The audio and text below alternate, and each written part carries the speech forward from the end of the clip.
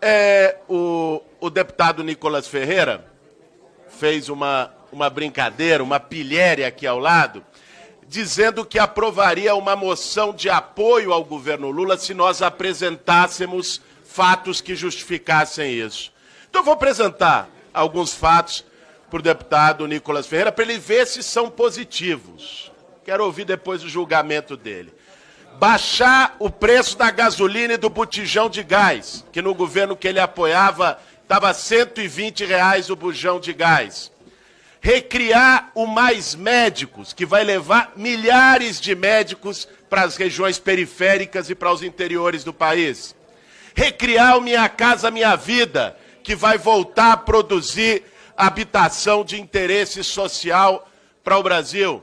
O Brasil voltar a ter respeito internacional e ser convidado para o G7, coisa que com o presidente que ele apoiava era espalha rodinha na ONU, no cenário internacional e transformou a diplomacia brasileira num pária. Poderíamos continuar falando, recriar o programa de aquisição de alimentos, que combate a fome, compra da agricultura familiar e distribui alimentos nas periferias. Garantir recursos recordes para a cultura, estimulando a produção cultural e o fomento de um dos setores mais afetados pela pandemia. Recriação do Bolsa Família, com 150 reais a mais dos 600 para cada filho que as famílias mais pobres desse país têm. Poderemos aqui, é que meu tempo está acabando. E eu sei que a Bia se é rigorosa, ela não vai me dar um segundo a mais. Então, poderia aqui falar de vários outros pontos, mas deixo esses. Espero contar com o apoio do deputado Nicolas para nossa moção de apoio ao presidente então, realmente, é fácil é, você dizer. Saudita, calma, escuta, né? escuta, escuta. Vamos, manter a prática. É joia e é tudo legal. Deputado é joia Boulos, e é tudo legal. Eu fico, eu não fico surpreso do Nicolas não assinar a moção de apoio, contrariando mais uma vez a palavra dele. É, tampouco fico surpreso dele trazer fake news, porque é o procedimento habitual dele. Fake news sobre mais médicos, sobre minha casa, minha vida né, é alguém que não tem, enfim, qualificação política para debater, fica inventando coisa para fazer lacração na internet. Agora, o que me surpreende é a cara de pau de vir falar das viagens do presidente Lula. Bolsonaro foi o presidente que menos trabalhou, ficava viajando de indo jet ski, motociata, pegando joia na Arábia Saudita.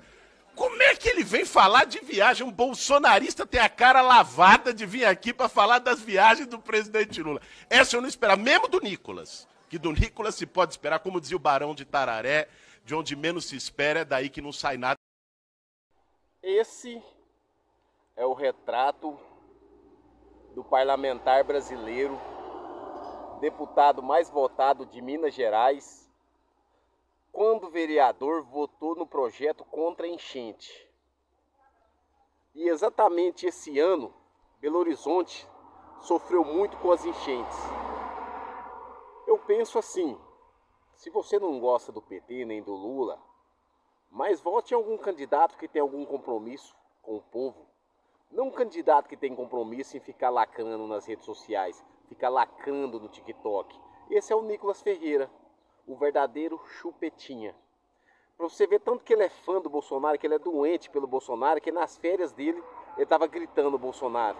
Nas férias não, na sua lua de mel.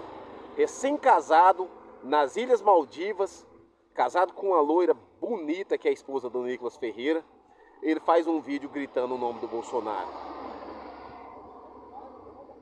Aí você vê o nível de parlamentar brasileiro que a gente tem representando a gente na Câmara dos Deputados Federal. Meu Deus do céu, aonde o Brasil vai parar com esse nível de gente que a extrema direita coloca lá para representar eles no Congresso? Essa galera da extrema direita não tem, um, não tem a mínima condição de escolher um parlamentar. Ficou nítido, ficou claro, ficou evidente que não. Galera, se você gostou desse vídeo, já se inscreve no canal e deixa aquele like, hein?